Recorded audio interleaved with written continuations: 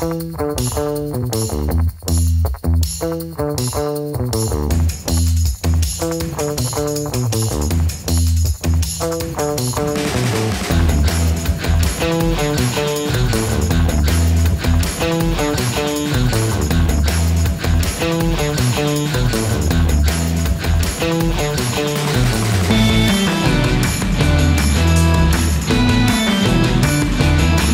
good morning, everybody. Look at this. They cut the corn a little early. I just got my first pretty good signal. This actually was ringing up a 19, so I'm thinking it'll probably be Indian. Let's find out what it is. Oh, yeah.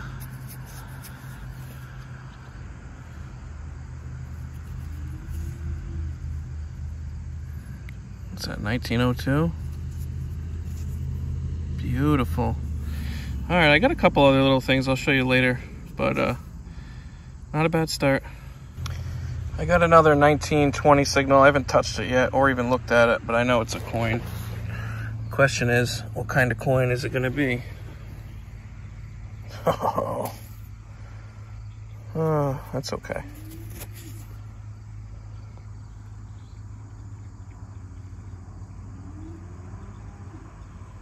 A 1909? Oh.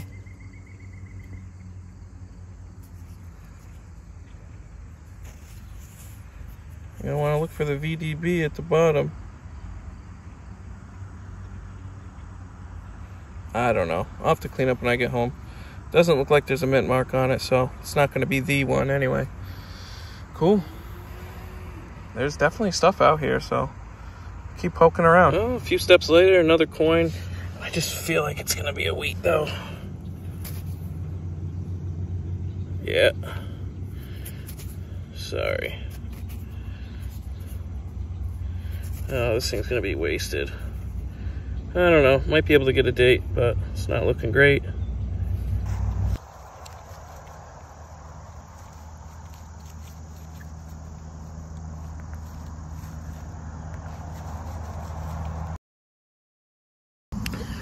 Hey everybody, sorry I had to cut out early, um, but I'm back a few days later, about four, um, and I finally got another signal. And some people might say, oh, that's a piece of junk, but guess what? This is part of a drawer pull. This piece would have went into the dresser or whatever, and then this side would have accepted part of whatever handle mechanism was there pretty cool. Let's keep moving. Well, I was getting a pretty good beep. So I dug this thing up. I don't know. Something. Let's keep moving. All right, you guys got to listen to this.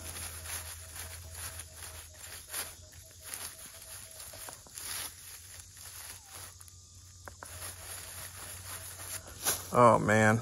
Oh man, that could be something amazing. Let's find out. Okay, so I don't know what the heck I have. I just kind of got a little peek at it. Sitting like that. I flip it out, I see this. What in the world?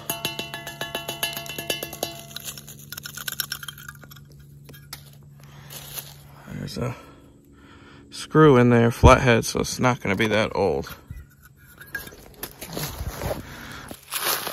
Oh, what the heck is this?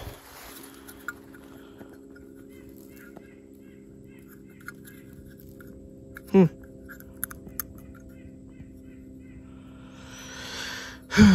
okay, whatever. All right, so I was getting a really irony signal with like a little bit of a 14 in there. So I decided to dig it, flip the plug, went straight to iron, but I had it open, so I checked it out, of course. And I got this old buckle. I'm guessing this piece, this roller was brass, which is probably what was giving me the little bit of hope there with that signal, but this is nice. Well, I was getting a solid iron signal. It was like a negative four or five, but I'm curious. I just pulled this out. I don't know. Does that look like a part of a latch to a treasure chest? Maybe. it's definitely some old uh, hand-forged latch of some kind. Um, not sure on the edge of this, but if you've seen something like this before, let me know. I'd love to know what this came from. All right, everybody. This is going to be the last spot I take you for this video because I just need to get this thing out. Uh, it's tough lately with permissions being either dry from lack of rain. I don't want to kill the grass or corn not being cut, but I got a cornfield that got cut a little early and I just found a piece of a shoe buckle frame. It's got some fancy on it. Too bad it's not whole, but I'll take that all day long. Hopefully I can find a few more little things here and there today. I'll get back with you. Not a terribly exciting find, because I find them often, but I still love them. And uh, it's right here. This is a broken piece of stem from a clay pipe. The date range on these is pretty wide. I mean, these go back pretty far. I know you can date them sometimes, I think, by the diameter of that hole, maybe. I forget, but it's probably based on whatever else I found, mid 1700s to, I don't know, into the 1800s. Throw it in the old pouch. Slow morning.